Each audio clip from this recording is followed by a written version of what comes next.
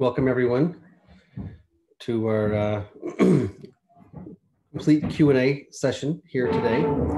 Uh, we sent a uh, email out to registrants, it must have been two or three months ago, just to see what people's comments and um, you know suggestions or, or desires or things were. And uh, one of them was uh, time for a Q&A with Dan. So uh, here we are at the end of end of July and I've got a a few um, questions that have been submitted in the last day or so printed out um, and look forward to engagement, hopefully being fairly active uh, here today. Um, so maybe I'll just do a quick introduction of myself and then and then jump right into it. Um, so my name is Dan Kittredge. I'm the executive director, uh, founder and executive director of the Bionutrient Food Association. I'm guessing most attendees at this point have a reasonable understanding of who I am. Um, lifelong organic farmer. Uh, and, you know, through my work as a farmer, um, trying to figure out how to make a better living, came upon the principles uh, that I call principles of biological systems. I uh, learned a lot of it uh, when I was actually studying in the Acres community. Um, and also found out there about uh, Brix and, um, you know, nutrient values, nutrient density, as a as a concept, something I had not been previously exposed to, or in any meaningful way at least, and um, thought it was a really good idea to focus on nutritional value. And from what I understood of the permaculture community and the organic community and the biodynamic community, the um, agroecology or IPM or conventional ag, it seemed like all those communities were you know talking about nutrition but not necessarily focusing on it as an objective a specific objective. And so we founded the bionutrient food association in, in 2010 um, as an educational organization focusing specifically on increasing quality in the food supply.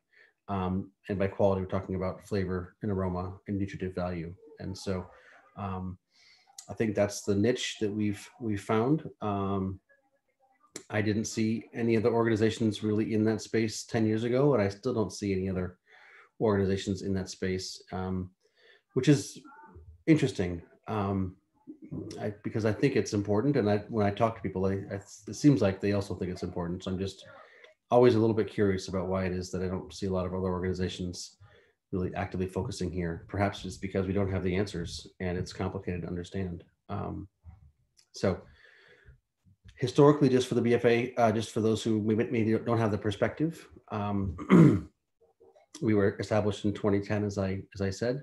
We have um, our, our, initial work was with um, these courses, Principles of Biological Systems. It started out as a six-day course, one day every two months. Um, and as that spread by word of mouth farther and further afield from our base here in New England, um, it wasn't plausible to be driving or flying to um, Kentucky and Colorado and California every two months. Um, and so we consolidated the course down to a two day course. And that's you know how it's been run for probably most of the, last eight years or so.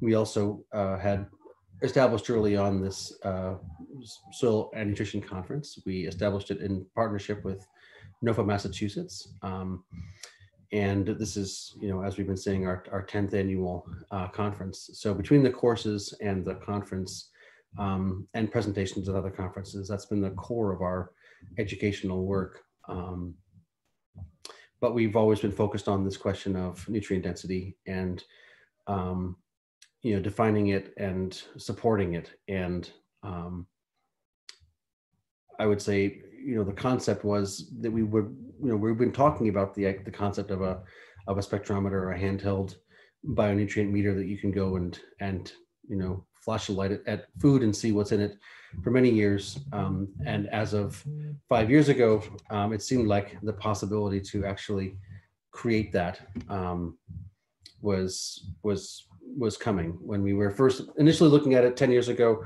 um, you know smartphones were still pretty pretty new and mass-produced miniaturized technology of this sort was was not didn't seem like it was plausible but as of five years ago we thought we could start the process and so what we have done um, is with what was originally called the Real Food Campaign, um, and now we're framing it as the um, Bionutrient Institute.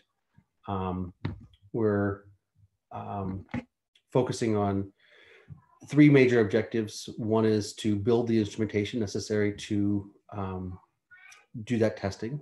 The second objective is to identify the variation in food quality so we can calibrate an instrument. And the third piece is to um, understand the connections between management and environmental conditions and those nutrient variations. And so, um, as we've discussed most recently, I think with uh, Dan Travis, um, we've been making some quite significant progress on that front of building the instrument, defining the variation, connecting to management, et cetera. So that's really been a lot of our, our work over the past five years, more and more uh, what we're focusing on, I think, um, not emphasizing the courses so much, certainly happy to uh, present them when groups or individuals request them, but really thinking that this definition of nutrient density is, is coming to be a, a critical piece in the broader ecosystem and, and conversation, and uh, one we don't see anybody else focusing on and where we think is really we should be prioritizing. So that's the background of the organization. I said I would talk about myself. I haven't really talked about myself too much. Perhaps that's because most of what I do is this. I don't have much of a life beyond beyond all that. Um, but at any rate, um, this this session is set to be a Q&A and I do have some uh, printed out questions that got submitted, um, but I would welcome people who have questions to uh, start putting them into the Q&A section um, now so we can have a, an active conversation going forward. So with that said, um, I'll start. Okay. This is from Lisa and Dave in Queensland, Australia. Uh, thanks for the opportunity to ask questions. We, we're loving the conference presentations, although time differences mean me watch them later. I had a conversation for John, a question for John Kempf, if you could comment or check with John one day. He mentioned in, in his presentation that he didn't support the need for manure in your system he was talking about large scale farming, but I just wanted to check whether this was relevant to small scale gardeners too. Thanks for all your wonderful work, inspiration, and generosity. Um, thank you, Lisa and Dave. That's a good question. Um, I think, you know, depending on what tradition you've been brought up in or, or taught in, um, you know, in some communities, uh, manure is considered to be a, a critical um, fertility amendment um, ingredient. In my perspective, I use the example of earthworms. I say, you know, in, my soil, when I when it seems to me like like my soil's doing well, if I walk out there at night with a flashlight um, and turn it on, I can see just night crawlers out across the landscape. Maybe you know, one every four inches or three inches or or six inches. They're just they're just everywhere, and worm casting mounds, etc. Um, I, I, don't know who gave me the exact number, but it was something like 15 night crawlers per square yard equals um, 40,000 pounds of worm castings per acre per year. So John may not have said that we need manure as in the form of, you know, cow manure or chicken manure or, or something along those lines. But I think the understanding is that when you do have a well functioning system, the um,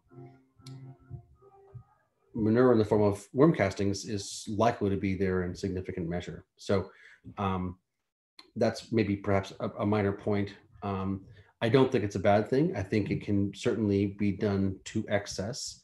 Um, you know, putting too much manure or even too much compost on things can cause them to grow in a in a, in a leggy fashion. Um, you know, too much growth, not enough fruiting sometimes. So uh, the difference between not necessary and not recommended is is significant there. So I would say um, in moderation, whatever that means, it's probably fine. Uh, understand that in a well-functioning system, you are going to have a lot of manure in the form of um, worm castings. So, you know, if you've got if you've got that manure, feel free to use it. I don't think you would need to put it down to excessive levels.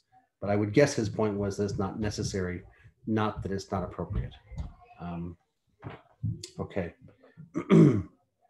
Sharon says, um, unfortunately, will not be able to attend the live session. Looking forward to any further comments you have on listening to plants and or the universe and your theory about the effect of proper nutrition on humans' ability to resonate at high enough levels to meet our potential or something in light of the current global predicament. Profound thank for your work and dedication. Um, well, well, uh, I'm just reading these in the in the order they came in, but that's that's this is a this is a good one. Uh, for those who have taken the two day course, um, this may be some repetition for you. It is something that I don't often um, go into in great depth otherwise. Uh, for those who have not taken the two day course and are interested, I believe it's freely available on YouTube. Um, so feel free to, to check it out there if you'd like. I oftentimes say that the when people get down to asking me why I'm doing what I'm doing, um, I think that we, um, as humans, you know, we can see ourselves as having a physical body. We uh, understand, you know, that we have senses of touch and taste and smell.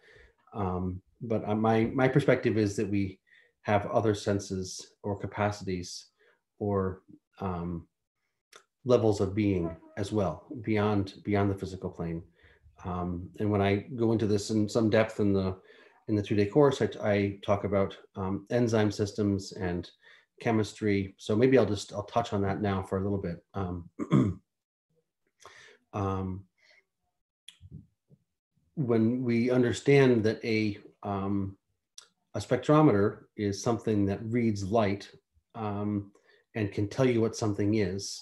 If you look at you know the way astrophysicists uh, people who study the stars and the and the universe, the galaxies, um, are able to look at an look at a at an at a star and by reading the light that comes off of it, um, they can tell you what's in it. We can say that Alpha Centauri is 51% hydrogen and 48% helium and 2%, um, well, 1% other gases that would be, uh, and different levels and ratios. It's not by going to that star and sampling it that the astrophysicists get that reading. It's by taking a picture of the vibration of the light that's coming off of it. And we think of atoms or, or, or you know elements in chemistry as things. We think of copper as a thing or zinc as a thing, but physicists will tell us that zinc vibrates at a certain frequency or that copper vibrates at a certain frequency. And so if you understand that all matter is vibration on some basic level, then we can, you know, move forward in this conversation to the point I'm trying to make. Um, we can understand, if you understand that copper vibrates, then maybe you can understand that sugar vibrates, right? Sugar is just a bunch of hydrogens and oxygens and, and carbons connected to each other if each one of them is vibrating, then maybe the whole compound is vibrating. It's actually, you know, resonating. And protein vibrates, and hormones are a vibration, and enzymes are a vibration. So they may have a certain chemical signature, but they also have a resonant frequency, a vibration. Um, and the metaphor I like to use is one of the um, elementary school band concert for anybody who may have had the experience of attending an elementary school band concert in many cases, the um, the vibration is not in tune. the it's uh, you you know when that third trumpet or the second flute is out of tune, is sharp or or flat, um, the whole chord is not harmonic and it sounds dissonant. It it grates on your it it it's, it doesn't it doesn't it's not a it's not a sort of a pleasant vibration. Um, whereas if you were to be uh, you know, attending a beautiful a cappella choir and um, the four voices are singing perfectly in tune. Um, you may, you know, when they are singing perfectly in tune, you will hear overtones. You'll hear a note. You can hear the note, but no one's singing it because those other notes are so perfectly in tune. A higher octave becomes manifest. It becomes um, realized, and so um, I'll just use those those two points about things that are you know things in chemistry are vibrations in physics and and dissonance and harmony to make my point about nutrition and what is you know why i'm focused on nutrient density and the connections between all that and maybe broader cultural benefit um, my thought is that um, when you are eating food that does not have in it the full spectrum of nutrients needed for your hormones to be built properly, for your DNA to be built properly, for you know whatever it is, parts of your body to be built properly, because we our bodies are constantly replacing themselves, rebuilding themselves. We get something like four billion new cells every day. You know, the oldest ones are disassembled and and you know removed from the body, and the new ones are built in their place. Um, inside of every cell is DNA. Uh, DNA is a really big, long compound. Um, it requires 25 different elements like copper, zinc, calcium, potassium, phosphorus, sulfur, cobalt, molybdenum, selenium, vanadium for every strand of DNA to be replicated properly, 4 billion times a day. Um, if you're not getting that, that full, complete suite of 25 elements in sufficient levels for your basic body to be replicated, um, you can understand that your DNA might not be perfectly replicated. We have genetic markers that we talk about correlating with, you know, disease, cancer, osteoporosis, et cetera, heart disease. Um, when those nutrients aren't in your food and your body is unable to build those compounds, not only, I mean, on some foundational level, your resonant vibration begins to sound more like that elementary school band concert than the a cappella choir, I think is the point I'm trying to get to. Um,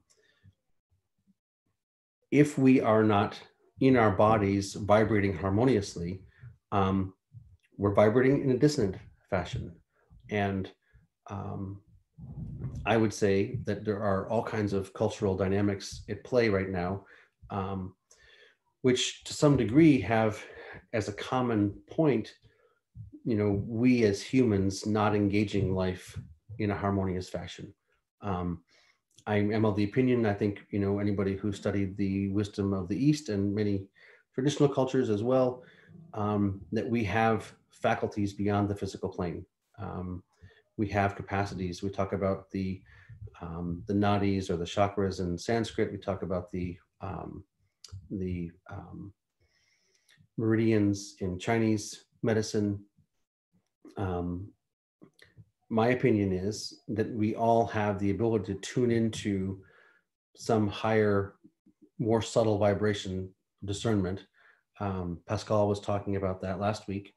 Um, and the more harmonious our body is, the more readily we can attune to that and the more we can maintain that attunement. And so the real reason why I'm focusing on nutrient density strategically is because I think it, if we can increase the quality of food for everyone in the world, we can increase quality in the food supply, we can build a dynamic where people are foundationally more coherent and more able to tune into their higher natures. So um, that was a long answer. I hope people followed it, um, but I find it uh, very compelling. Um, it certainly drives me and let me see, I think I answered Sharon's points here in this question. Um, yeah, yeah, I think that I think that covers it mostly. Um, you know, I think she made some comment about the current global predicament. Um, I certainly have been watching over the past, even just you know, four to six weeks, the um, climatic uh, extremes um, I think the IPCC, you know, had came out and said 18 of the 31 metrics that they're following are at extremes right now. We've got massive floods in China and Germany, and I think London got taken out, and you know, uh, Phoenix, and you know, extreme heat in the Pacific Northwest and in Siberia, and you know, um, big typhoons. It, I mean, it, re- it really is starting to feel like something um, quite. quite dramatic is happening, and it's been predicted for quite some time. Um, and I truly do believe that we have the capacity to reverse it in relatively short order. Um, they say we as animals are good at this fight or flight mechanism. When something is a long distance away, we're sort of ambivalent or you know still not you know changing our changing our ways too much. But I think, I mean, the climate the climate um, extremes are, I, I, think, getting to a point where maybe that fight or flight mechanism will kick in. And um, now that we have the data showing direct connection between soil carbon, soil biological activity, management practices, and nutrient levels in food, um, you know, I think it's very exciting the opportunity for us to be able to say to people, look, you, for your own self-interest and for the health of your children, might want to be choosing these carrots over those carrots. And by the way, the more of us that do that, the more balanced our ecosystem will become. Um, I think that's a very compelling uh, argument and uh, proposition. And you know, we're just getting to the point with the instruments and the data sets where we can say this in a formal scientific way now, um, just as just as these extremes are coming on. So yeah, so I guess we'll see how it all transpires, but certainly, uh, what's the Chinese uh, curse? May you live in interesting times. All right, Bill asks, a while back we filled out a survey about the conference, which I think included what I'm about to ask. I'm wondering when we'll be able to have breakout rooms so participants and maybe some speakers can meet and communicate with each other.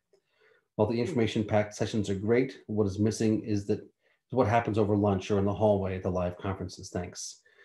Yeah, certainly a shortcoming of this conference. When we did send that survey out, and asked people what they were looking for, actually, Bill, uh, most people said they were not, they didn't think they they had the time for or desire for breakout sessions. So um, after sending that survey out, we basically decided not to take that on. Um, I do feel like it's it's a significant shortcoming this year that we don't have that um, opportunity for people to cross pollinate. Um, so, um, sorry, yeah, uh, I guess we'll we'll uh, work on that on our next in-person conference. It's very interesting.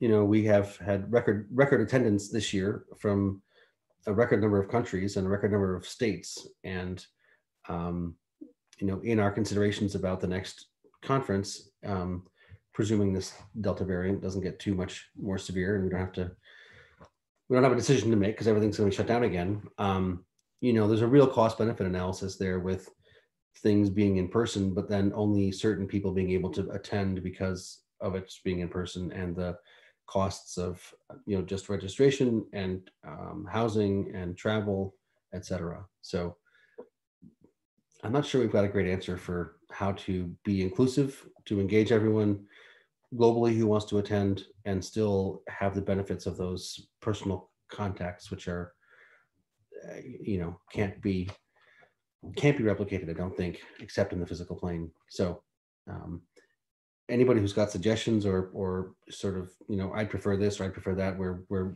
welcome welcoming um, feedback but we don't have a don't have a don't have a plan to do this uh, this at this conference all right uh, from letitia i have two questions for dan I heard you say in a course that insects do not attack plants that have all the nutrition they need because those plants form complex carbohydrates and insects can only digest simple carbohydrates. Is there a book I can reference for this specific information? Um, yeah, well, I don't think I said it exactly that way, Letitia, but you basically got the point. Um, um, when I'm teaching the two day course, I generally tell the story. Um, I say, if you all sitting here in this room when you walked in had seen a bale of hay amongst the chairs. Um, you might have considered sitting on that bale of hay, but I'm guessing you likely would not have considered eating it. and people say, yeah, well, uh, yeah. Um, and then I'd say, and if a cow had walked in and she'd seen that bale of hay amongst the chairs, she probably would have considered that a meal. We'll say, yeah, it's okay. So what is it that causes that bale of hay to be food for a cow and not food for a human? Um, and I would say it's the digestive tract of the human versus the cow. The cow has four stomachs. She has the capacity to digest, you know, complex cellulose into a format that can be, you know, made available for her, and we don't. Similarly, um, bacteria, fungi, larvae, um, beetles don't have the level of sophistication of digestive tract that we do. And so uh, I believe it's from simple sugars to complete carbohydrates is when the soil-borne pathogens, um, oftentimes bacterial in nature, uh, become unable to digest the plant. Um, when the plant is able to, through a well enough functioning biological system, access to nutrients, you know, build complete carbohydrates out of simple sugars, then it becomes indigestible to those to those soil-borne pathogens. Um, when the plant is able to build complete um, proteins out of amino acids, is when the um, larvae are no longer able to eat the plant, right? So the corn earworm or the tomato hornworm or the Colorado potato beetle, all those larvae um, can only digest amino acids. They cannot digest protein. They don't have the, they don't have a liver. They don't have the enzymes in their guts necessary to digest complete protein. So as your plant is able to go to the level of that biological complexity, um, it becomes indigestible. Similarly, when the plant is able to build a sufficient level of lipids, fats, and oils, it becomes resistant to or indigestible to the um, the mildews and blights, the sort of fungal pathogens. And then finally, when the plant is able to um, build what we call plant secondary metabolites, antioxidants, polyphenols, terpenoids, alkaloids, the things that generally correlate with flavor and aroma um, for us is when the beetles or the adult forms of insects, which have a more sophisticated digestive tract than the larvae or the fungi or the bacteria, that's when they cannot eat the plant. And so you know the general story i tell is um, that these what we call pathogens are nature's report card and if you've got colorado potato beetles eating your potato plants that's nature telling you that you are growing food for larvae um, if you've got uh, powdery mildew taking out your summer squash or your zucchini or your cucumbers you're growing food for fungi um, only when the pests that you have in your garden are animals, you know, moles or voles or rabbits or um, raccoons or deer, only when the animals are your primary pests do you know you're growing animal food. Um, these different, you know, I guess technically insects are animals, I believe. So maybe that's not totally correct as I said it, but the, but the point I think is there. We can say mammal food. Um, you know, different organisms have different levels of digestive system function, capacity, and the plant, based on its overall health, is digestible to those different organisms at different points in time. So, um, thank you. Yes, I get all that information from John Kempf. I'm sure he's cited it. It's part of his pyramid, plant health pyramid. Um, I don't, I don't have this. I don't have the specific citations I'm sorry, but that's the general concept. And uh, your second question from Letitia, why do aluminum levels increase in a soil test when the soil pH gets too low, even without any amendment input whatsoever? Um, well, the um, aluminum is generally considered to be a symptom of a weathered soil, a worn out soil. Um, uh, the actual soil itself the the the sand or the silt or the clay particle itself.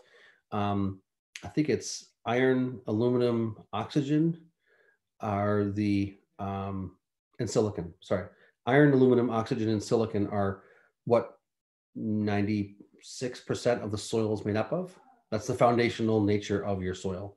And there's a little bit of calcium and potassium and copper and zinc, but those are on the soil colloid, um, is where they're assessed a low pH basically means a lot of those things that were attached to the soil colloid got leached out. And instead of there being a calcium there or, or a um, potassium there, there's a hydrogen there.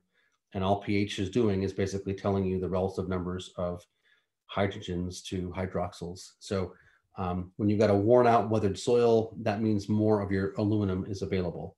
And as you build organic matter and biological activity, part of what the microbes do is they basically tie up that aluminum. So it's not like it's increasing in quantity or decreasing in quantity. It's increasing in availability. And that's what probably the soil test you're looking at is testing. Is not the level of aluminum, but the uh, level of aluminum at this availability range. So the lower the pH, generally the more worn out the soil, generally the more available the aluminum. Um, soils that are in better shape generally have one of the things that the microbes do is tie that up and so it won't show up on a soil test. At least that's my understanding. All right. Okay. Bart has a few questions here. Um, allelopathy refers to the beneficial or harmful effects of one plant on another plant. If we look to maximal nutrient density, what is a good source of information to implement a strategy in your garden vegetable production to maximize nutrient density by combining species that enhance and stimulate rather than harm each other? Um, that's a very good question.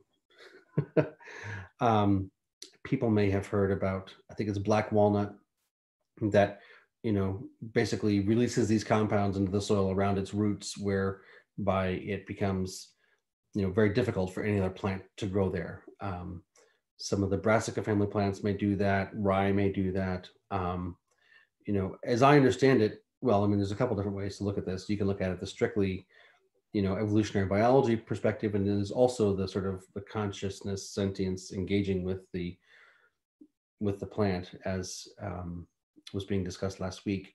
Way to talk about this, but um, and I don't remember who it was that I heard telling a story about. I think it was black walnuts, and they had basically had a conversation with the black walnuts and said, "What's the matter?" And they said, "You know, we were." traumatized some long time ago and we were we thought there wasn't enough and so we had to protect ourselves and this person who was engaging in a you know and obviously in a in a clairvoyant or a, a subtle you know communication which some people may disregard um, said well look you know i'm here to take care of you and there's plenty of nutrition around here and you know it's okay you, you're, you're safe you don't need to worry about it and you know blah blah blah the next year uh, there was grass growing underneath the black walnut trees. Like they had decided not to ex- not to exude those allelopathic compounds to such a great degree.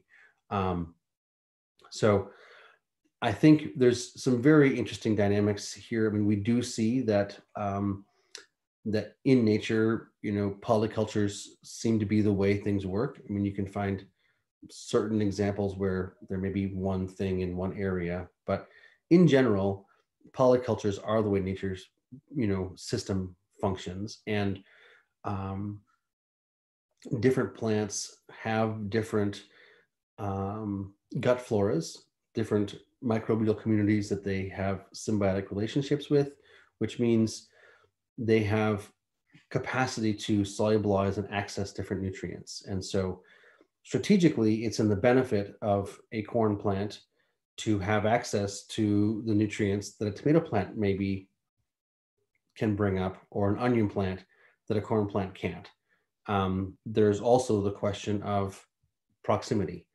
And, you know, depending on what type of plant you are, you would rather have more space than oftentimes gardeners will give you. So um, I'm not sure um, a good source of information to implement a strategy to maximize nutrient density by combining species that enhance, stimulate, rather than harm the other was the question from Bart.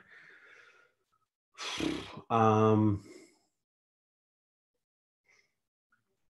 I mean, there are some books about about companion planting, but um, I'm not sure I can give you a, a, direct citation about specifically what that looks like. I don't. I um, I'm not aware of. I'm not aware of a of a specific um, a book or uh, you know an individual who has put this all together in some meaningful fashion. I think we have the the models of nature to look to um, and exper- experimentation as the mode of proceeding forward. Um, when Dan Travis was talking about the and Greg Austic as well, the data explorer that we've been building with the um, the work into nutrient density definition, um, that's part of the framework we've got there is for farmers to effectively document how they grew things, and then um, we can see what the results are on nutrient density. And so by by having a large number of people share what they did and then see what the results are from some empirical standpoint,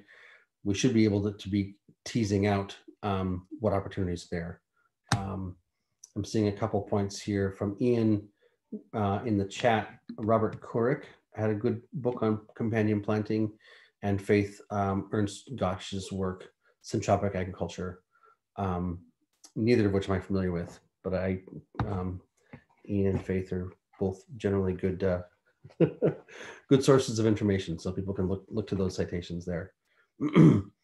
um, okay, uh, second question from uh, Bart: How does soil microorganism diversity in, um, link to leaf uh, link to the plant, leaves, fruits, nutrient density? Um, is the biomicrometer and the outcome of measurement providing you a practical tool with enough ac accuracy to visualize this relationship. Um,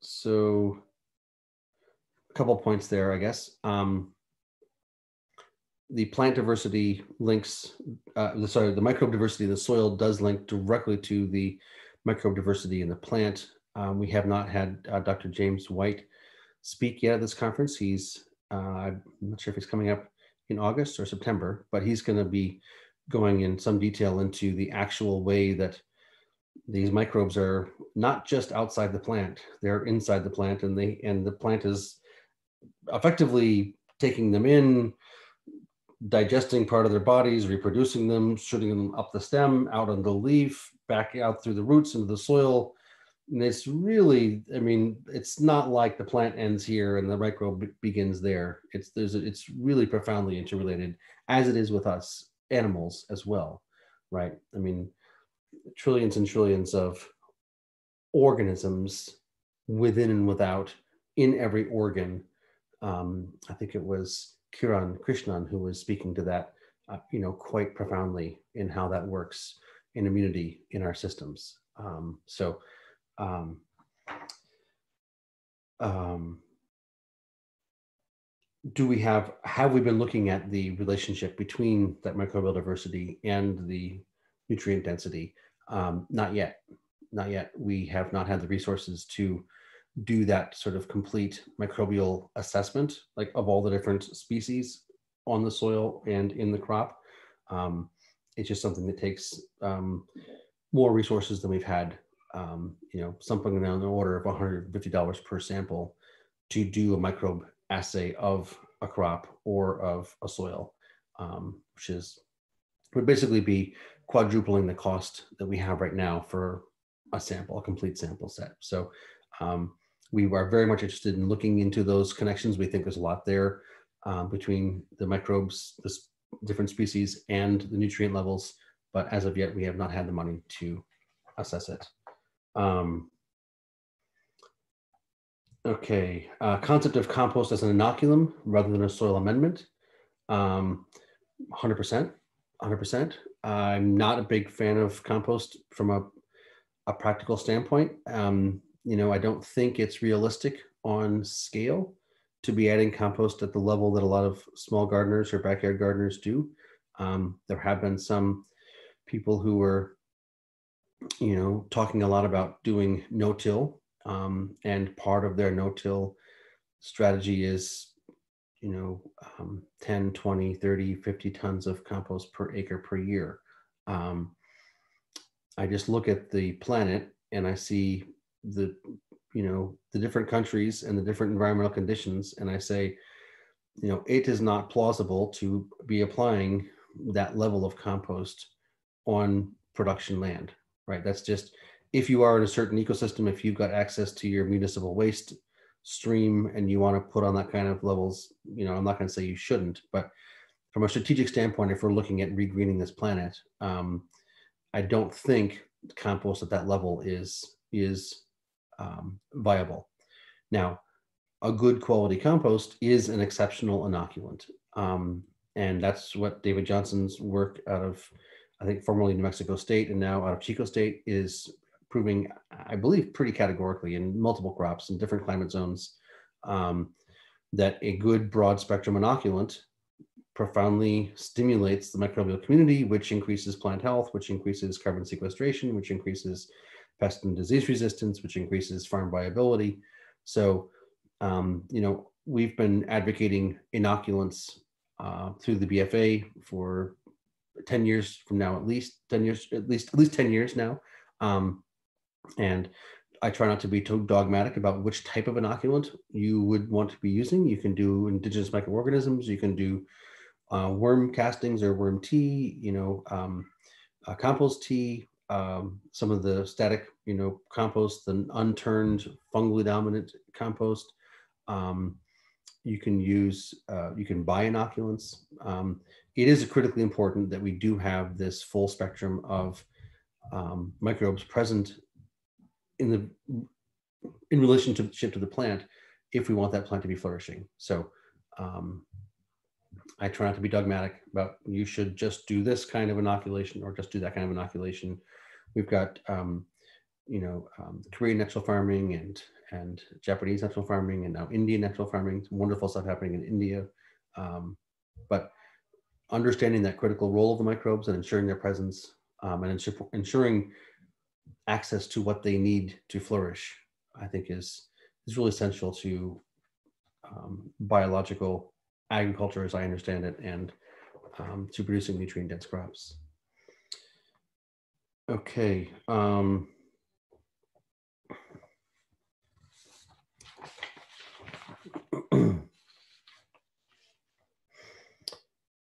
All right, so this is from Sarah. Uh, what do you tell folks who want to remineralize their growing space, who may live on islands or countries that don't import or have certain minerals in stock, or shipping is crazy expensive? Asking because I'm curious for folks living on smaller islands in the Pacific Ocean out here, and those with less financial resources than myself. I'm on Hawaii Island and can still buy most amendments, but have um, but having to think about other sources of phosphorus, for instance, as soft rock phosphate, has become very hard to get recently. Um, been talking with other farmers about making bone meals or fish bone amendments. Um, thank you for all the work in the conference. Um, all right, so that's basically the question. Uh, remineralization when um, logistics are are limiting. Um, well, you know, it these questions are always case dependent. So I would say, uh, as I understand the Hawaiian Islands to be volcanic, um, that volcanic basalt probably has a broad spectrum of elements in it. Um, I'm guessing they dig some of that up and crush it to make roads, and they probably have some waste product from that process that would be called float or um, crusher dust that was likely available at a fairly low price point. So I think, Sarah, um, if you've got a quarry on your island and your island is is um, basaltic or, or or volcanic, you probably don't have an issue. Um, you know, uh, there's this conversation about phosphorus deficiency, and people talk about um, not having enough peak phosphorus and things like that as I understand it, that pertains primarily to people that are focusing on um, soluble phosphorus fertilizer and sort of the chemical mindset. Um, the actual amount of phosphorus that, that gets used uh, by a plant in a growing season is fairly small. It, it really gets cycled cycled through, but not really taken out um, in any meaningful way. Um, and you know, conventional ag has this concept that phosphorus is poorly available. Um, and so you have to put lots of soluble phosphorus onto the soil for plants to have access to it.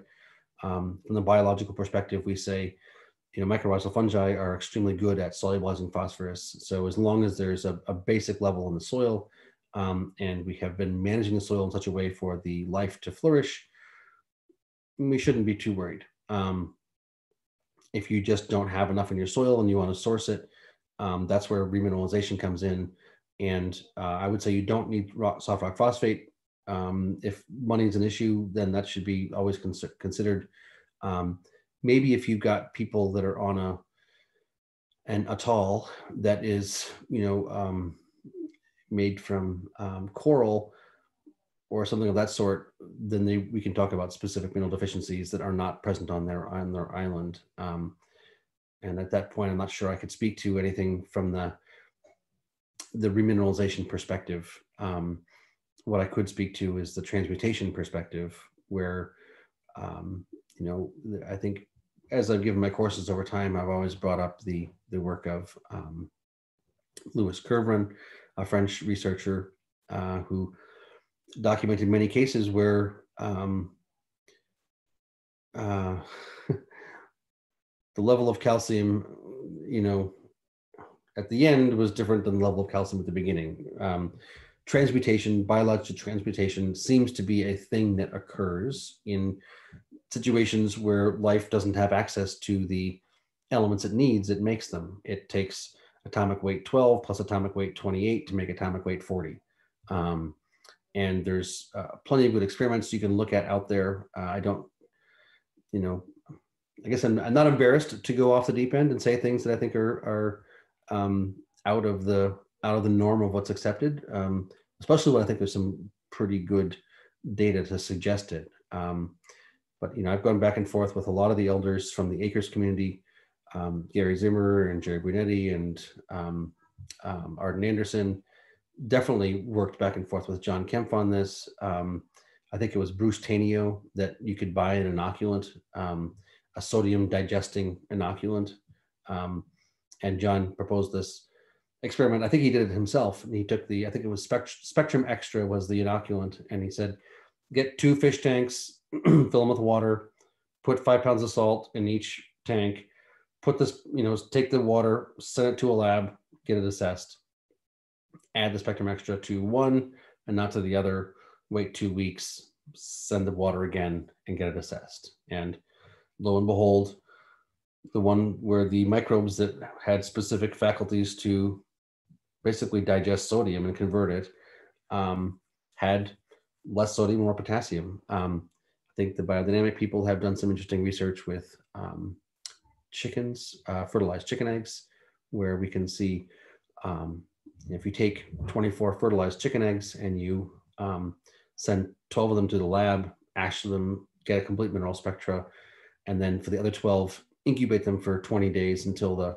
um, chicks are about to hatch, and then ash those eggs, you'll find much more calcium present in the incubated eggs than you found in the simply fertilized eggs.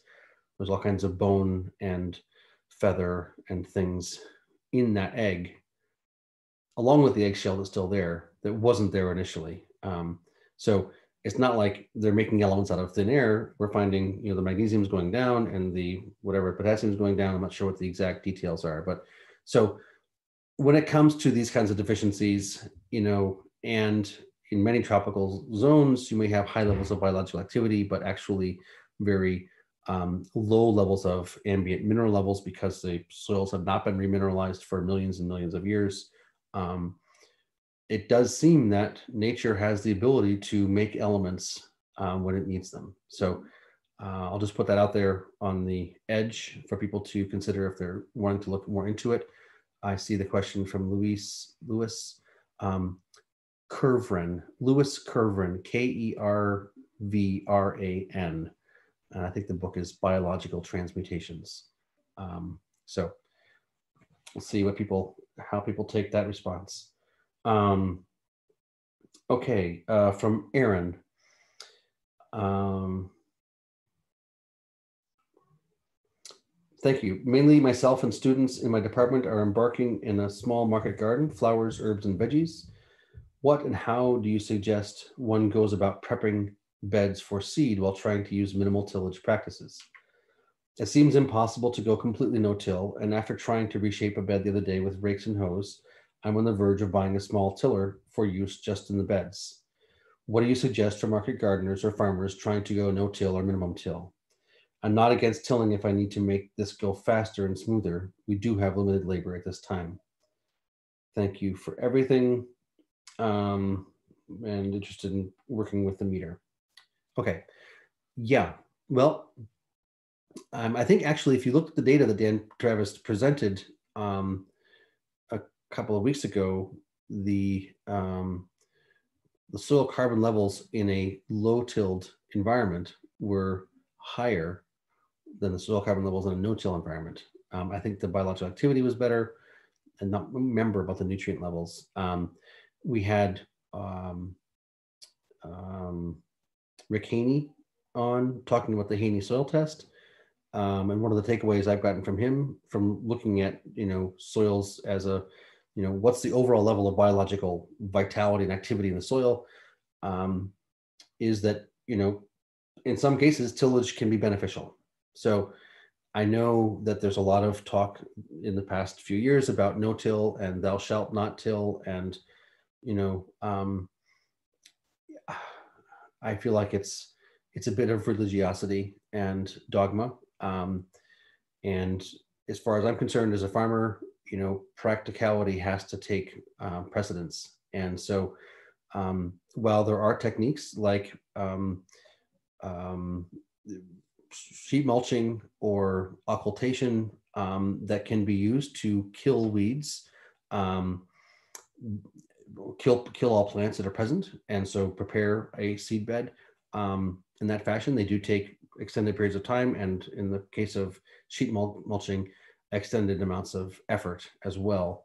Um, when I bought my farm, it was uh, well worn out. The soils were in pretty rough shape. They were tight. They were um, didn't have a lot of aroma, um, low mineral levels, and um, I understand that you need to have air in your soil for microbes to breathe, and so part of the reason I think why farmers till in the first place, beyond trying to kill the weeds, is to loosen up, open up the soil so you can get more of that process occurring um, that you know ability for microbes to breathe process. And so, what I did on my farm when I first bought it was to identify mineral deficiencies through taking a soil test. Um, I got all the different rock dusts that I thought I needed.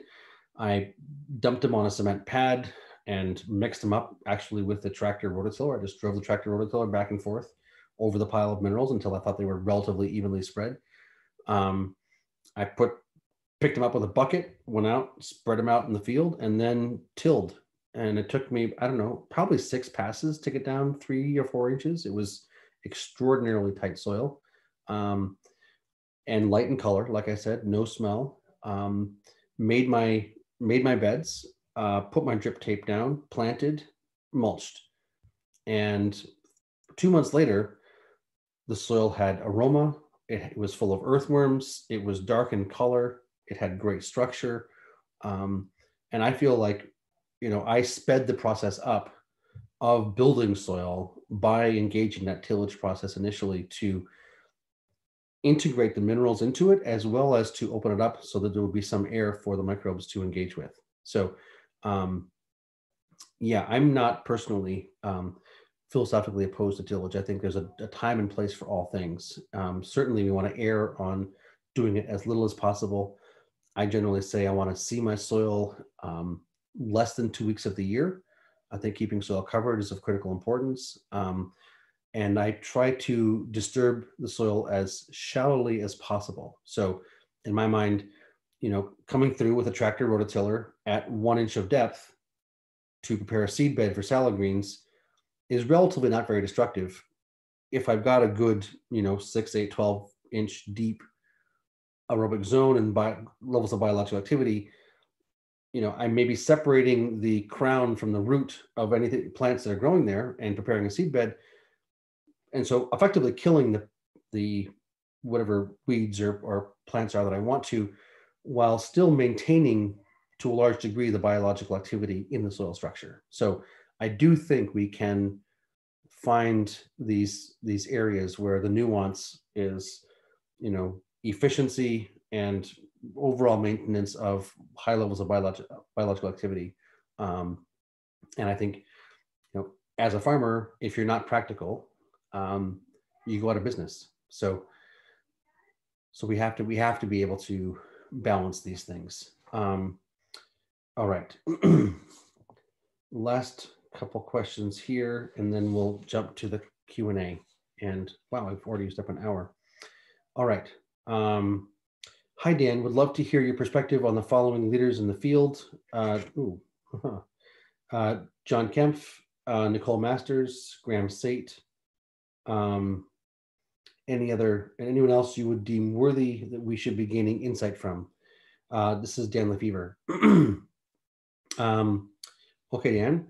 Well, uh, John, I've known for 12 years. Uh, I have deep respect for him. Um, I think he's, you know, absolutely one of the cutting edge um, agronomists and voices in the in the biological ag space. Um, Graeme Sait, uh, you know, John basically took a page out of his book. Um, Graeme went around probably 30 years ago and just interviewed all of the elders in the biological ag community, wrote a book, Nutrition Rules, I believe, integrated their insights into his product line, um, which, as I understand, is quite powerful. Uh, I think actually, it's I think it's actually very similar to what John. I mean, John started after Graeme, so we have to, you know, put that in order of operations. But I think that they're both doing fairly similar work and are quite um, well spoken, passionate, um, and get great results. Is my understanding in general. Uh, Nicole, we are having Nicole speak here at this conference this year. I've heard great things about her. I've only talked to her a couple times on the phone, um, but she seems like she's, um, yeah, she seems she seems really good. So, um, anyone else you deem worthy, we should be gaining insight from. Well, I think, you know, every year we try to curate this conference in such a fashion as to bring those voices that perhaps are not necessarily um, broadly heard, but have but have insight. So um, yeah, I mean, anybody I think people should know about, I try to get to speak at this conference. Um, so that would probably be my answer. Maybe it's a cop out, but I don't have time for podcasts. I'm sorry. I don't. I don't. I don't. I don't. Uh, I don't stay up on who's who's saying who's saying what. Um, all right. And last question: um, Are there any results from the study comparing hydroponic uh, to soil-grown vegetables and fruits? we did do that last year. I don't know that we got actually that many hydroponic crops. Um, as I recollect, they showed below the average on nutrient levels. Um, but there are certainly people doing a great job in soil and people doing, um, you know, they're they're they're they're um, basically creating dirt through their management. And so um, I, I, try to stay away from hydroponic bad, soil good. Um, I think hydroponics can be done quite well, and um, soil can really be abused. So I, I, don't I don't think it's ever going to be so black and white. Um, but the averages that we found last year with a relatively small data set, as I recollect, showed um, hydroponic below the average. So, all right, I will now jump to the Q and A. Um, so from Ian Graham, uh, where does Steve Solomon, Eric Reinheimer's work in the Intelligent Farmer book fit in with BFA's best practice protocols? Good question. Um, I would say generally very aligned. Um, as I had been teaching this course for some years by that point in time and have subsequently, people always said, can you just recommend a book? Can you just give me a book? And I think this one would fit in that category as generally quite good. Um, um, I think if you read closely what Steve uh, writes there, I believe it was him that was doing most of the writing, maybe not. Um, you know, he had written many books previously from a different perspective, and he was basically like, "Oh wow, I found this stuff out."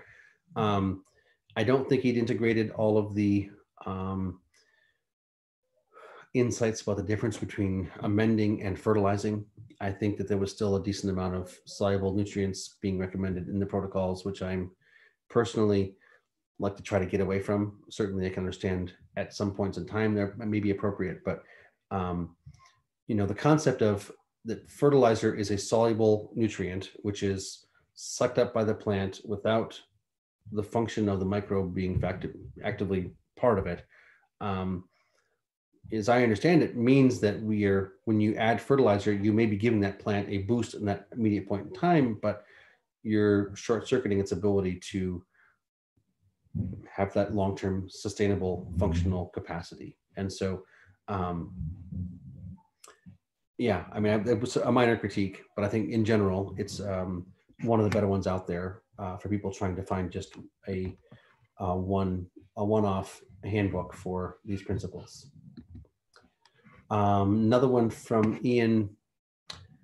In the climate crisis, economic disruption, disruption world unfolding, we can't bring fertility in from outside our farms. What are you advising for bringing fertility, active biology that is resident on our places to the active plane? Well, Ian, I don't know that I would agree that we can't bring in fertility from outside our farms. Um, and i have had this conversation with various people over over the times um, who say, um, you know, we're running out of hydrocarbons. We're not going to be able to haul to drive trucks anymore. We're not going to be able to have um, trains that can haul stuff anymore. I don't. I don't think that's true. I don't think that's true. I think we are still going to be able to have trucks that haul things and trains that haul things. And I was reading an article this morning about all the um, the um, charging stations that Tesla's been setting up. Um, so I, I, I do think we should try to minimize what we bring in from outside our farms, and it should be as naturally occurring as possible. Um, so in general, my you know philosophy is between rock dust and sea salt. You know, you shouldn't really need to be bringing in any other minerals or amendments. Um, certainly, uh, seed is valuable until you're saving your own seed. Um, inoculants as well are valuable unless you're, you know, harvesting your own inoculants. Um, what am I advising for bringing um, active biology that is resident on our places to the active plane? Um, generally, in my course, I talk about doing the indigenous microorganism uh, technique, which is basically to uh, take a five gallon bucket or a bag of, uh, you know, a, a shopping bag and go for a walk and I say, you know, hit as many microclimates as possible. Ideally, you want a um, a field, a meadow, um, a forest, a you know, a swamp, um, some field edges, and as you walk through these different ecosystems, you're looking for plants that have shiny leaves. Um, doesn't matter what kind of plant it is. Could be sumac, could be goldenrod, could be moss, could be skunk cabbage, uh, oak tree, um, you're looking through the ecosystem for plants that have shiny leaves. We understand shiny leaves are a symptom of overall systemic good health.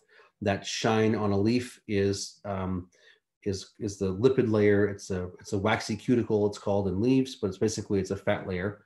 Um, when we see a cow that's got a sheen on her coat and she's got a you know a fat layer on her um, on her back, we can say she's fat and happy. She's a healthy cow. She's doing well. Um, when you see a cow whose whose coat has a is dull and you can see her ribs, you, you look and you say something's wrong with that cow. So um, in the same way, we want to be walking through our ecosystem, looking for plants that are that are shining, that have more vibrancy, and we're going to be reaching down and taking a handful of soil out from underneath each of those plants um, and putting it in your bucket or your bag. So the idea is anywhere you've got a plant in nature that is flourishing, it is not being fed fertilizer, it must then therefore be in healthy relationship with a microbiome um, by going out into the ecosystem and harvesting that microbiome, putting it in a bucket, coming back home. You know, you've got a breadth of different species because you got soil from underneath a breadth of different types of plants. Um, then you add water, stir it up, and water that out into the field, or put it in a foliar spray, or put in irrigation line. However, however your mode of application is, um, it's not hard to harvest microbes from the ecosystem, um, and I think it's a really practical thing to do. So, um, hope that helps. Okay, um, from Bill. I have heard that manure at more than a very minimal amount makes the plants lazy by providing soluble nutrients, so they do not set up trading with microbes, including fungi. Um, one or two presenters, I think, on this conference said this, not sure though. I believe I addressed that on the manure question um, in relation to John Kempf. Um, yeah, I don't think we need to be adding significant amounts of manure. And I do think that while it may cause your plants to grow lushly, it may also um, provide a dynamic where you're seeing more pest pressure because that lushness is not balanced. Okay. Greg Reese, um, if the meter can help farmers get a premium for their products, how can we ensure that nutrient dense food is still available to communities of all income levels and respecting social justice? Um, well, through being active citizens. Um, yeah. The objective of the meter is to be able to discern the relative nutrient levels of crops. So this beef to that beef, this carrot to that carrot. Um, as we have found in many cases, the variations are, you know, 2x, 5x, 10x, 50x. So um, you could make the argument that if something costs 25% more but has three times as much nutrition, is actually less expensive. Um, that being said, you know, we're trying to create a framework where we've got transparency and empiricism. And as a small educational organization, don't presume to be able to control all of the dynamics that occur across the entire planet as far as food security is concerned. Um, you know, I've been watching through COVID as you know a lot of food security or insecurity has been a has been an issue, um, and seeing in a lot of areas where you know children are getting something like 80% of their calories through the schools um, and simultaneously seeing that um, people from certain socioeconomic backgrounds um, races etc are have higher levels of the um, comorbidities uh, pre-existing conditions susceptibility to uh, you know death etc from covid um, so it seems to me, I mean, I think um, Pierre Riel just had a brilliant presentation here talking about the omega 3, omega 6 ratios and different countries and their death rates and things like that. I mean, I hope people got what he was was dishing out there. It was hard science and quite compelling. Um, you know, I would suggest that if people are want to take the um, the BIPOC and the BLM conversation forward in this food justice kind of space, let's talk about what kind of food is being supplied by our school systems. Right? If we know that this beef is bad for you, basically, and this beef is good for you, and the beef that's being provided by the school system is bad for you, then let's organize around that right? Let's organize around the people who are more disadvantaged, whose you know food is being provided by government agencies. Let's like organize around the government agencies providing food of high caliber for those people. Um, so that's just one thing that comes to my mind um, that I think is an opportunity um, for for social movements to be successful, it requires any number of individuals to find their niche and and put their shoulder to the wheel. So, um, you know, we're doing our part to help bring transparency and empiricism to this conversation, and hopefully make the direct connections between self-interest from a health perspective and self-interest from a climate perspective, um, and from a farmer's perspective, self-interest from a fiscal solvency um, perspective but I don't know that we at the BFA can do everything. I think this is a very important question, and I would suggest, you know, that in many cases, people who are more disadvantaged economically are getting food through some sort of a government um, procurement process, and this would be a great thing to organize around. I think a great thing to organize around. Okay. Um, another question from Greg. Does time affect the vegetable and soil samples that I sent as a grower partner? I've reached out and coordinated with Victoria Cox to send samples to both Chico and Michigan to see if there's a difference. Would you encourage others to do the same? My farm is in San Diego County, Southern California. Thanks.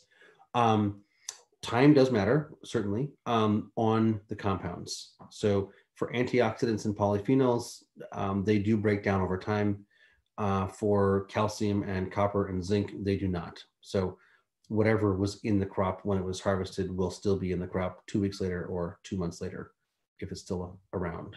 Um, yeah, I think it's an important conversation. Um, some of our um, allies, there's a group called uh, Teak Origin that has been doing some research looking at food in grocery stores. Um, and what they found was in many cases, the nutrient levels in the food at Whole, Whole Foods was lower than the nutrient levels in the food at Walmart. Um, and it's not because they came from different farms per se, but it was simply because the Walmart supply chain moved faster. And so it was only five days between harvest and being on the shelf for Walmart. And it was more like nine days between harvest and being on the shelf at Whole Foods. So time does matter in the compound degradation. Uh, it does not matter in the mineral um, levels. Matt asks, um, in a world that continues to evolve, where do you think a deeper understanding of nutrient density and nutrition can take us? Ooh, that's open-ended. Um, well, I think I touched on the point about, um, you know, consciousness being grounded through coherence in our physical forms. Um, maybe I didn't say it quite that way, but you know, my personal opinion is that we do have um,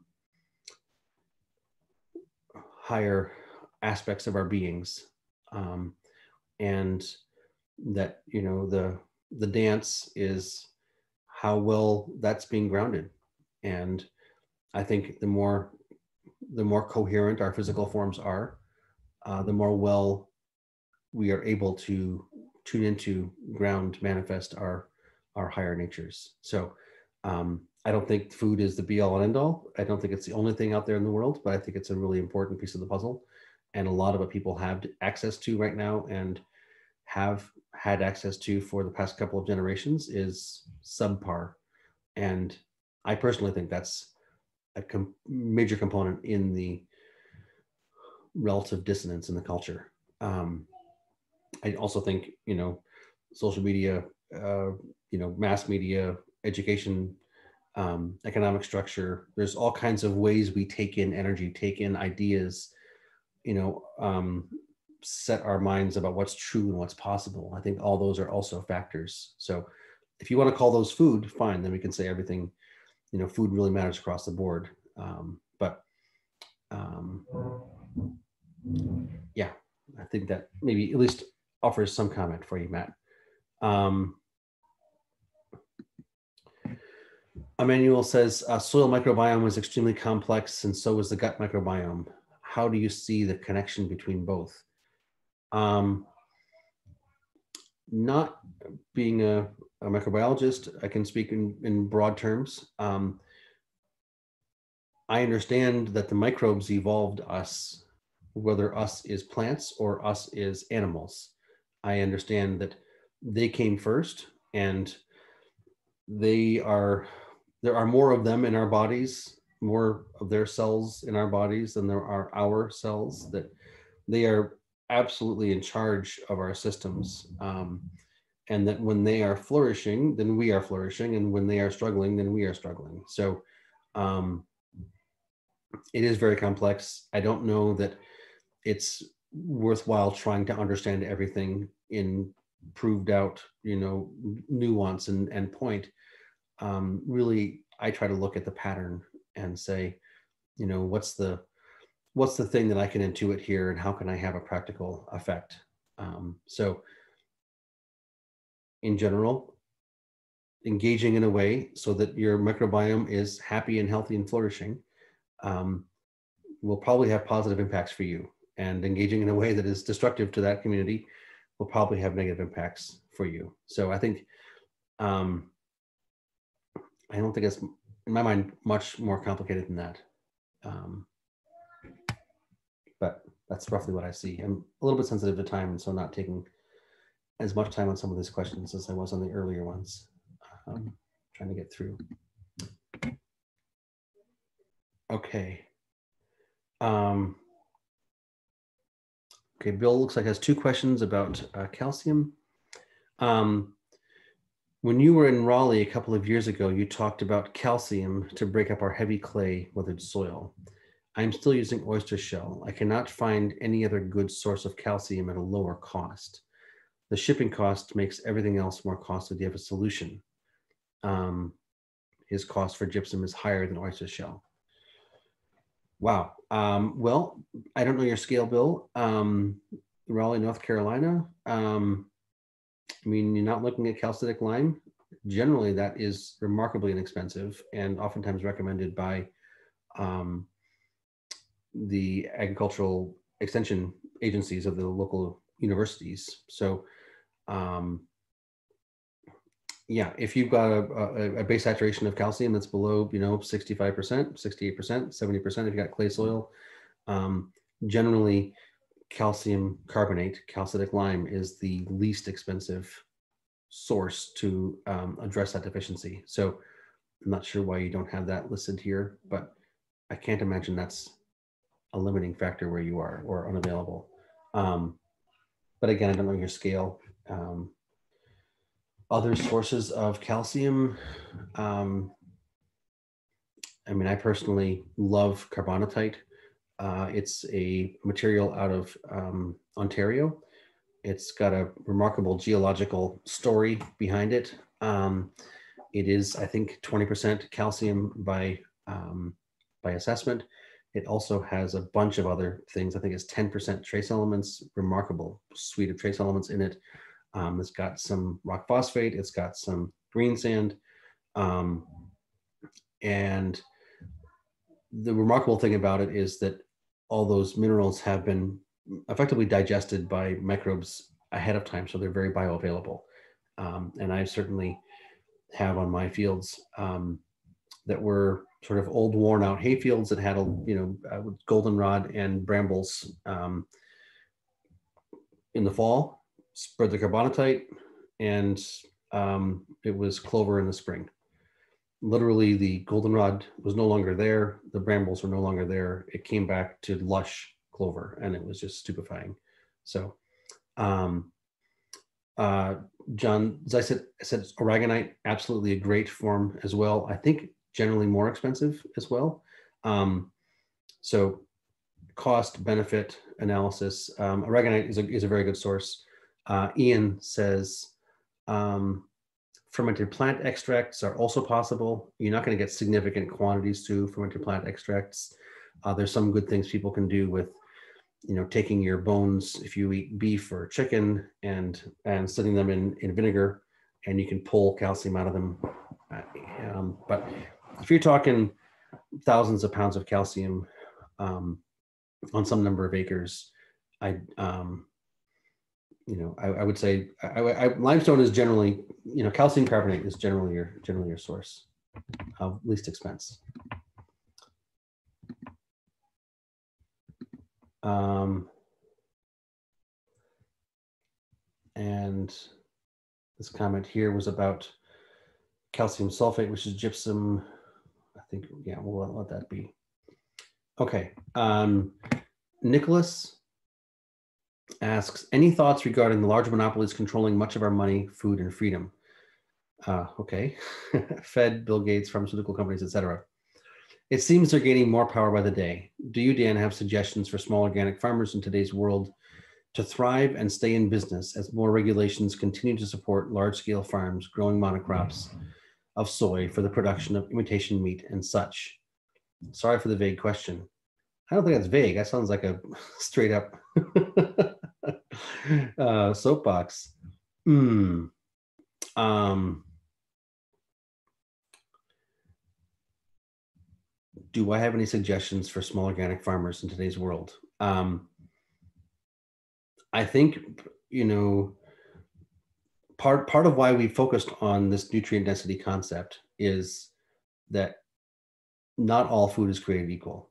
And um, while, while the usda may put on the label for a carrot that effectively all carrots are equal you know that's not the case. And so our thought is if we can support consumers in understanding that the crops from the local organic farm may be superior and by some significant measure to what's available at uh, Whole Foods or Walmart, um, then at least we can you know, put a finger on the lever to say there is some major difference here besides local and not local. Um, and that's not saying that just because it's a local organic farm means their crops are better, right? In some cases, we've shown pretty clearly that's not the case. Um, I do feel like there's some very large, you know, how do you say them, monopolies controlling um, significant dynamics in our culture. It does seem to be getting pretty pronounced. Um, you know, in my mind,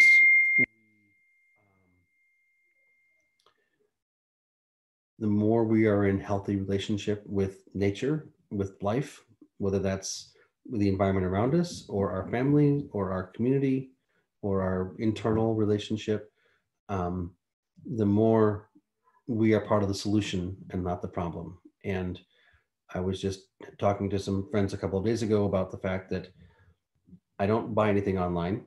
I don't have a credit score. I, you know, because I don't buy anything with a credit card. I don't you know, um, download apps. I don't have a TV. I don't, you know, there are certain things do social media. I like where you put your attention and energy, to my mind, is where you are creating, co-creating, as it were. And so um, I think it's incumbent on all of us to do the best we can with our own lives um, and you know let the in my mind at least where i'm at in my understanding the relationship with nature as it's most deeply understood be our guide um, and um, there's a it's so easy to talk about other people and you know most people think that or americans are this way or the bankers are that way or whatever. It's really easy to sort of have this sort of superiority complex where you think that you're better and they're bad. Um, and I don't think it's beneficial to engage in that thought form particularly. I think it's beneficial to create as harmonious of an environment around you as you possibly can. Um, to uh, speak well of the people you engage with, to um, to focus on solutions, to be a, you know, to be the, you know, be be what you want to see. Um, so I'm not sure if that answers your question, Nicholas, but um, there you've got a little bit more knowledge about me than you had before. Um, Martha, uh, did you include a question in your survey about some kind of online discussion group as a communication alternative to breakout group? I don't know that we did, Martha. I don't know that we did. Um, I guess that would be something like a listserv. Um, it should not be hard to set up, and um, I'm not sure if other people want to, you know, post up up votes or down votes in the in the chat or something. But I, I think if that's a a desire, um, I think part of the problem was that people have schedules where it's hard to say at this hour people from six continents and 45 states would like to all engage directly. So I think actually that makes a lot of sense, a webinar, uh, sorry, a listserv kind of a, uh, a structure. Maybe we can put that out um, in a subsequent email. Uh, Ellen asks about the meter update. Um, yeah, so we we're supposed to ship out these next generation meters in June. Um, you know, the first meters we built in 2017, we released them in their raw form, I think in 2018, the first generation. Um, and now that we've got enough data to calibrate them, um, we are shipping out sort of a next generation. It's got a tare button, so it's not much different than the first one, except for the fact that it has a tare button and we have enough data so that when you flash a light, you don't just get a peaks and valleys on a graph, which means nothing. You get a number. Like this is in the 80th, 84th percentile of polyphenols and the 60th percentile of Brix, uh, et cetera. So we have those calibrations for 10 crops. Um, and we're planning on having them shipped, um, well, shipping next week and being in people's uh, mailboxes by the middle of August. Um, we've spent, I've spent, we've spent um, Next Seven has been actively involved in this. Um, you know, Our-Sci has been the partner in doing all the lab work and the engineering, um, but we haven't spent much time at all on the on the user experience, the user interface. So, what does it look like? How do you engage the thing? And um, as we were reviewing it in the end of May in preparation for shipping everything out in the beginning of June, as we had said we would do, we had all the meters built, and I couldn't make heads or tails about how to make it work. And I'm like, Greg, we gotta we gotta make this work better. So uh, it's been taking a lot of time, um, and it's pretty good. Um, it's a lot better, at least. It's it's it's much much better the user user interface, user experience. So um, yeah, anybody who's ordered one um, and this second generation that's been waiting for the meter uh, should have gotten an email uh, a couple of months ago, a couple weeks sorry, a couple weeks ago, telling them that it was going to be shipped in the beginning of August. And um, yeah, we're very excited. You know, we've actually have done this thing of building a handheld spectrometer at a consumer price point that can give you readings on nutrient levels in food, you know, with a flash of light. So um, it's not the end game.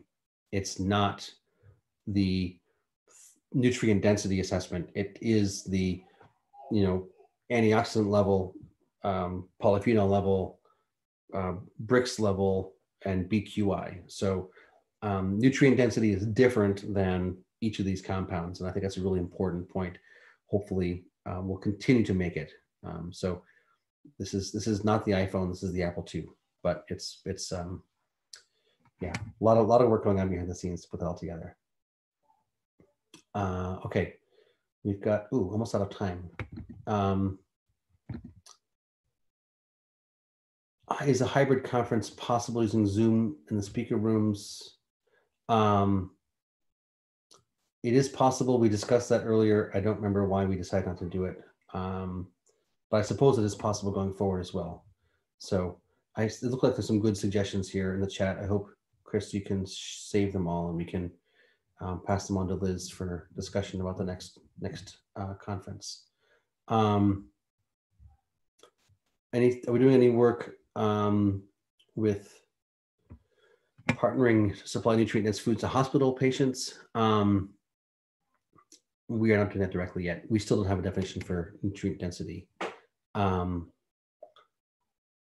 I think we had uh, Catherine Couch on earlier in the present earlier in the conference, and she's the one I know of who's doing the best work in that area. Greg, to your question. Um, all right. How are we doing here? Um, does the meter need a smartphone or does it work independently? It needs not only a smartphone, it needs an Android smartphone. So if you do not have an Android, but you have an iPhone, you must order one from us or get one of your own. It looks like we'll be shipping out actually small tablets, seven inch tablets. Uh, they're easier than the smartphone um, to set up, etc. So uh, for an extra, I believe it's $40. Um, the meter is $377. The, the smartphone or tablet is $40. Um, yeah, the readout happens independently through Bluetooth. It does not happen on the, on the meter itself. All right. Um, and I think there was one good question here that Chris posted just at the beginning on the chat. So let me see if I can find it.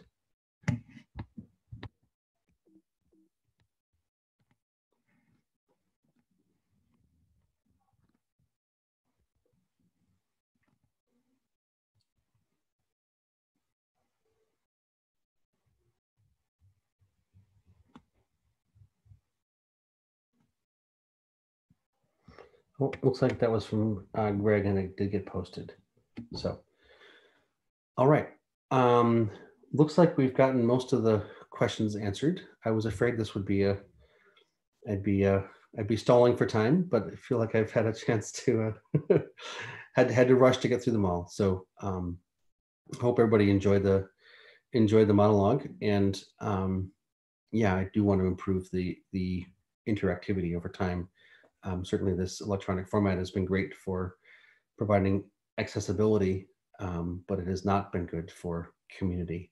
Um, but we'll continue to work moving forward. And thank you all for your support and your attention and intention. And um, yeah, it's uh,